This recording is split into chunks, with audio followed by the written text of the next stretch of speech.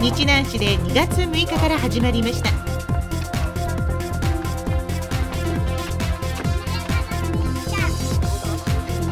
歓迎セレモニーでは市民関係者などが参加し園児が花束を贈呈。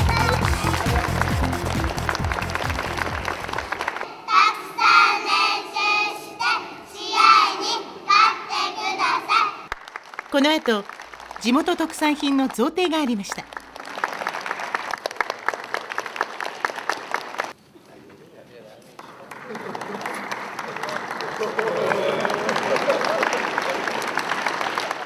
岸野監督が挨拶。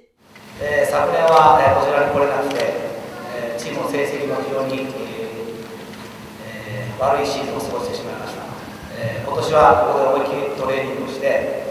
えー11月の時には、えー J1 に上がっていくと、えーそういうふうに、えー伝えておりますここで思い切りえートレーニングをして、えーチームをしっかり作りたいと思いますので、えー約10日間ですけど、えー皆さんも熱いえー協力をよろしくお願いします。歓迎セレモニーが終わり選手はトレーニングに入りましたかつて横浜 FC に所属していたペ・スンジン内田智也阿部匠などの選手が復帰。横浜 FC の2012年チームスローガンは「走破走り抜くつながる思い輝く笑顔へ」